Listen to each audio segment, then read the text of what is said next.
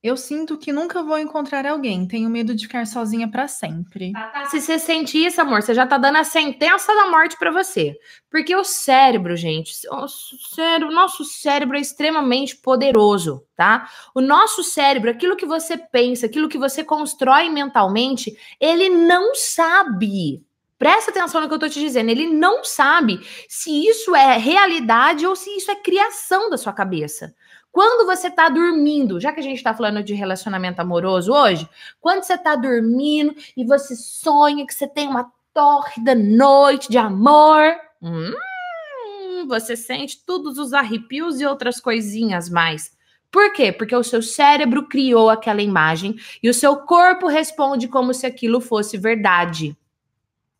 Se a gente for mais profundo ainda, a gente pode pegar pesquisas sobre medicamentos. Um grupo de pessoas que, sei lá, sofre de enxaqueca, recebe o medicamento de verdade. O outro grupo que também sofre de enxaqueca recebe o medicamento, mas não é de verdade. É o que a gente chama de efeito placebo. E os dois grupos saram da enxaqueca. Por quê? Porque o cérebro tem esse poder.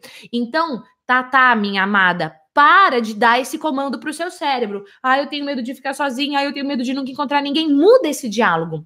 Eu desejo encontrar alguém. Como é a pessoa que você deseja para construir a sua vida? Sonhe, visualize, sabe? Como se você pudesse literalmente materializar essa pessoa na sua mente. Então, dê comandos positivos para o seu cérebro. E ó, eu não tô falando assim, ó, a um, a força do pensamento positivo, não, não é isso que eu tô dizendo. Eu tô dizendo de ciência para você. É mais do que só psicologia, que a psicologia já é o alzaça. Eu tô falando para você de neurociência. Eu não sei se você sabe, mas eu estou fazendo uma nova especialização em neurociências e tem muitas e muitas pesquisas que comprovam isso. Então, Tata, use o seu cérebro a seu favor para você ter um relacionamento amoroso do jeito que você quer e não contra você.